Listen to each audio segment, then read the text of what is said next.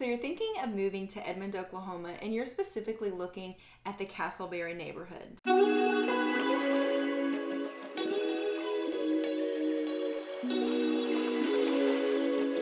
My name is Kinsley Houser, and I'm a local real estate agent in Edmond, Oklahoma, and its surrounding areas. Whether you're looking to move in 10 days or 10 months, I would love to be able to help you make a smooth move to Oklahoma. Please do not hesitate to reach out to me. You can give me a call, text, email, you can send me a DM on social media, you can schedule a Google Meet. There's lots of ways that you can get into contact with me so that we can start working together to help you make your move. I love getting to work with people every single day, just like you and you and you and you find your dream homes. So without further ado, let's get started talking about the Castleberry neighborhood. Castleberry is a neighborhood on the western side of Edmond, just north of 192nd or Danforth and just east of May. Castleberry is a slightly smaller neighborhood compared to some of the other ones that I've been talking about in this series. When you look at Castleberry compared to the Grove or compared to Valencia, there are definitely not nearly as many houses. However, the yard sizes are going to be pretty comparable because as you look at Castleberry and you look at the block within which it sits,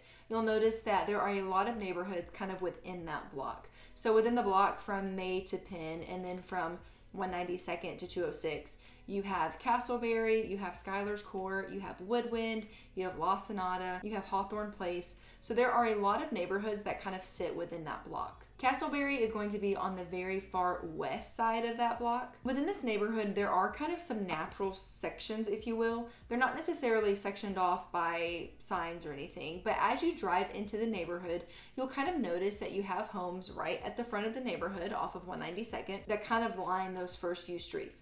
And then as you drive through the neighborhood and you kind of get towards like the pool and the clubhouse, you'll see kind of the back section of the neighborhood. If you take a right, kind of past those, you'll also notice that there are some homes that are a part of Castleberry that kind of start to blend in with some of the other neighborhoods. So you kind of have some natural sections and as you drive through and as I insert some clips later in this video, you'll be able to see kind of some of the different sections just depending on where you are driving in the neighborhood. Castleberry has a wide range of homes, anywhere from the 200s to $400,000 range. Most of the homes, kind of the average is going to be in that 300,000, but you do have those outliers kind of on the smaller end, kind of in those mid to high 200s and then you do have some of those kind of in the 400, low to mid 400 range. Those homes that are in the 200s are going to be smaller in square foot, obviously. So maybe around the 1100 square foot mark. And then the larger homes are going to be anywhere from 2500 plus square feet. For the amenities in this neighborhood, there is a pool, there is a playground, there's a gym. And I really like how the neighborhood has it set up because it's all really close to one another. So if you're looking kind of at the amenities, you'll see playground, gym or clubhouse and then pool. So it's all kind of relatively close. Every time I go by, it always looks very well maintained and it looks like, you know, they do a good job of keeping up with kind of the landscaping of the different amenities. For the schools, Castleberry is located in Deer Creek Schools. Now, if you are to drive even within the same block, but as you start driving into the other neighborhoods, you're going to notice that they are no longer Deer Creek Schools. But Castleberry is in Deer Creek schools. Castleberry, like very many of the other neighborhoods that I've talked about kind of in my neighborhood series, is very close to a lot of things. You are a little more north than, let's say, Valencia or the Grove. However, still very, very close to lots of restaurants, to shopping, to grocery, to a lot of the new development that's taking place. Also, because the neighborhood isn't huge, you're pretty relatively close to the amenities. So I would say really no matter where you live, you could walk to the amenities. Now, if it's a hot day and you don't feel like sweating and going for a long walk, then you might would drive. There is parking over at the amenities, but I would say for the most part, you can walk to the clubhouse, to the pool, and to the playground. It is close to 178th in May and 178th in Portland where they have all the new development coming where you have the Chick-fil-A, the new medical, where you have that Qdoba and Jack B and Starbucks.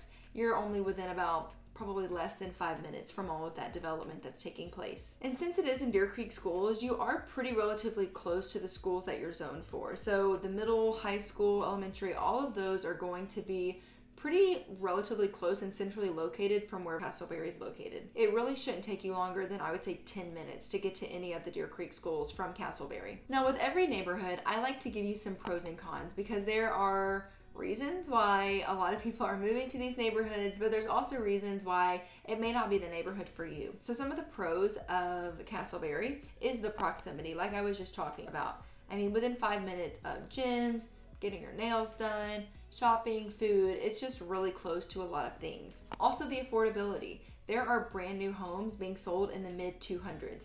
This isn't totally unheard of, but it's not super common to find those in Edmond. So to find a brand new home in the $200,000 range, I think really gives a pro to this neighborhood and just shows the affordability that it offers. To me, I think the neighborhood looks very cohesive. They kind of have a similar look, not to say that they necessarily, you know, every house looks the same.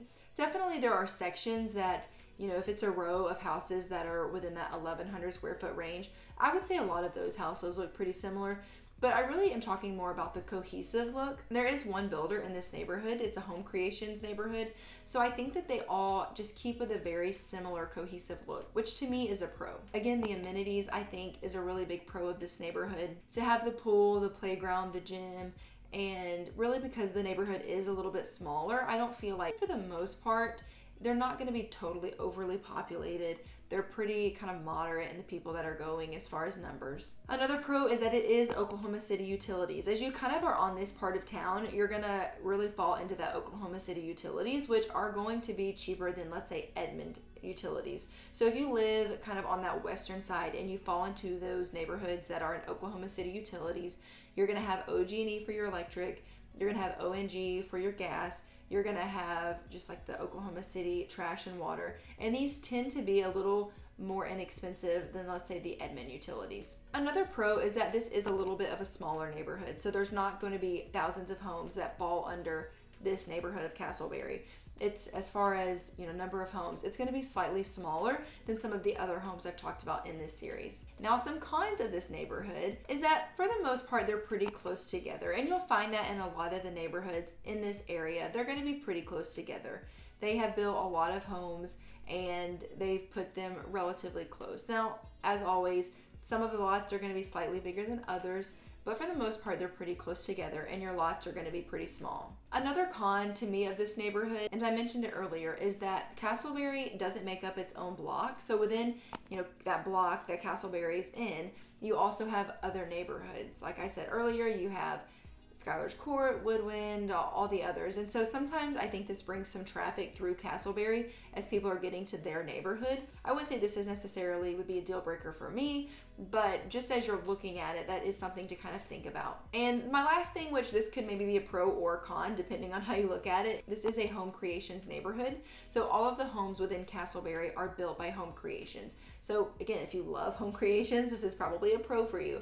But if you are looking maybe for a different builder, then you're gonna need to look into a different neighborhood. As I end this video, I wanna insert some footage just of me driving through Castleberry to kind of give you a better feel for what it's like to drive through, what it's like to see some of the amenities, and just to give you kind of an overall better feel for the neighborhood.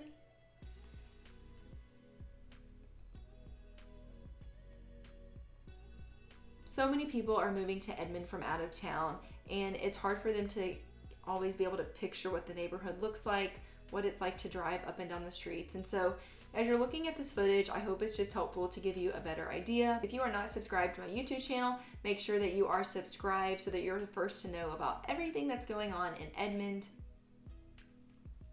and again, if you are thinking about moving, not even committed, but if it's just kind of on your radar and you want to kind of chat and talk more about your move and what you're looking for, and if that's realistic, definitely feel free to reach out to me. And if you are kind of getting in that crunch time of, oh, we need to start looking and moving quickly, then reach out to me as well. I love being able to work with people, whether we get to chat and look at homes for months or whether it's just within a few days. So do not hesitate to reach out to me no matter your situation, and I'd love to be able to help you on your move to Oklahoma.